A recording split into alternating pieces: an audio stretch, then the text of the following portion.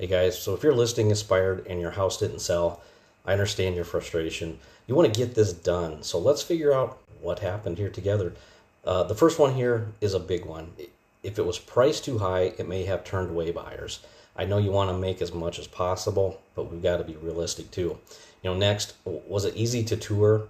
I know it's a pain, but being able to show the house at a moment's notice goes a long way. And if you're not flexible on this, buyers will see something else instead. And uh, think about whether it was really set up to make a good impression. Did you stage it? Did you tackle those tiny repairs before listing?